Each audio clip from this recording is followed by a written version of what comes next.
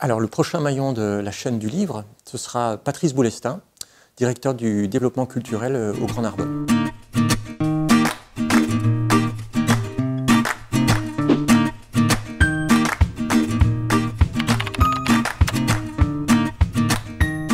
Euh, je suis arrivé en 2010 euh, au Grand Narbonne pour y créer la direction de la culture.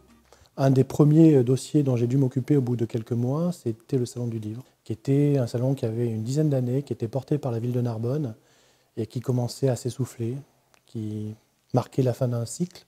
Les élus avaient décidé de, le transférer euh, à l'agglomération et on m'a demandé de le reprendre en main et euh, euh, de le faire évoluer. On est passé en quelques années à une centaine d'auteurs et à peu près à 18 000 visiteurs. Je pense que les gens avaient besoin d'une manifestation comme celle-ci pour pouvoir euh, se retrouver autour euh, d'un événement culturel est à la fois d'une grande mixité sociale et d'une grande mixité euh, générationnelle, qui attire la même population que l'on peut retrouver dans, dans les médiathèques, en tout cas celle que l'on retrouve dans la médiathèque d'agglomération, qui pour moi est très important, encore une fois, pour créer une identité, c'est souvent un peu abstrait, hein, les communautés d'agglomération, Là, avec des événements comme ça, ça donne du sens aussi à ce que peut proposer, euh, d'un point de vue culturel, euh, l'agglomération.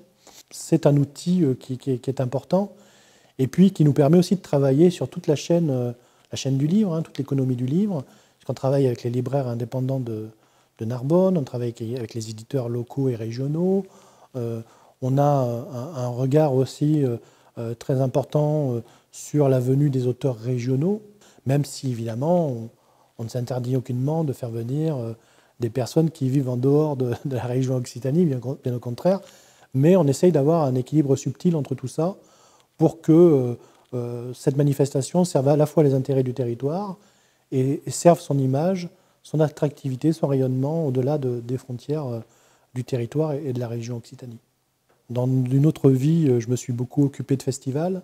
J'ai vu aussi à quel point la convivialité à quel point euh, des petits gestes simples mais authentiques pouvaient euh, euh, permettre de rassurer des gens qui débarquent finalement dans votre événement, sur votre territoire, qu'ils ne connaissent pas toujours. Les auteurs, comme les artistes, sont des gens qui ont besoin d'être accompagnés, rassurés pour pouvoir tout simplement se sentir à l'aise, bien et, finalement donner le meilleur d'eux-mêmes pour lier les disciplines on travaille beaucoup avec l'école d'art plastique. Il y a toujours euh, un temps de résidence, quelques mois avant euh, la tenue du, Salon du Livre, euh, à l'école d'art plastique, et il y a forcément une restitution qui est faite au moment du, salon. Moi, je crois, depuis très longtemps, depuis que je travaille, que même si un directeur d'équipement ou un directeur de festival incarne un événement ou un équipement, le projet ne vit ne réussit que parce qu'il est euh, tiré par une équipe. La réussite, c'est jamais la réussite d'un bonhomme ou d'une femme, c'est la réussite avant tout d'une équipe.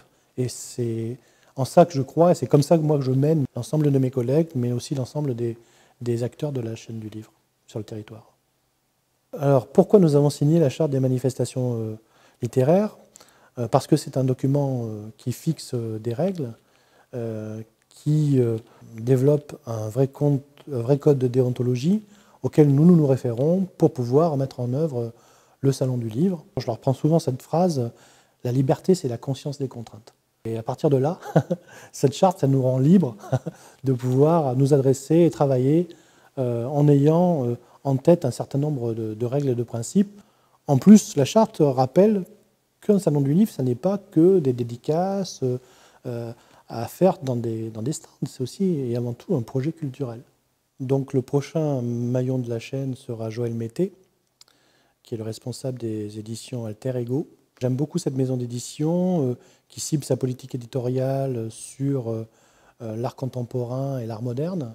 Donc pour moi, ça va dans la droite ligne de ce que je défends, c'est-à-dire le, mélange de genres, les passerelles, les liens entre la littérature et les domaines artistiques.